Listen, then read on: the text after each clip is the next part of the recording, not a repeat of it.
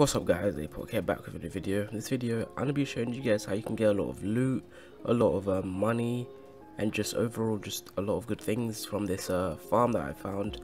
So the first thing you're going to want to do is you're going to want to come to the Splinterlands, come to this location I have right now on the map, and then you're going to want to talk to this lady and do this mission called Just Dessert.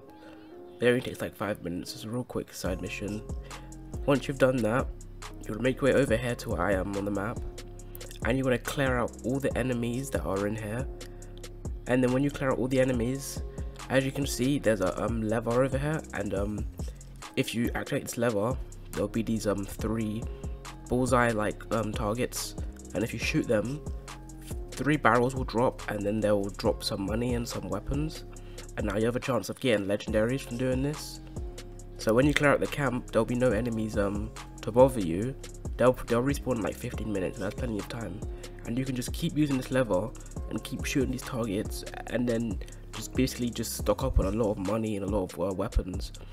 Uh we better to do it on mayhem 3 because you can get um legendary like loot drop rate is obviously increased and you get more money and more xp and more everything.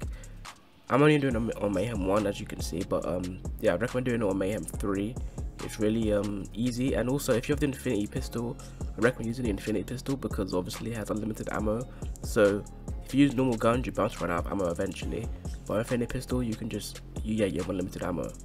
So just stay here for as long as you need really. Just stock up on money, stock up on weapons. I mean, hopefully you get legendaries. I'm still trying to get legendaries, but I know you can get it for a fact. But yeah, it's really good for money. Like if you need to get the um, more SDU slots in your backpack and uh, just if you want to finish off your collection of like stuff you need to buy from Marcus's. So yeah, I would uh, definitely recommend uh, everyone going for this. It's really easy, it's just one side mission, and then you can just pull this lever as much times as you want and destroy these targets.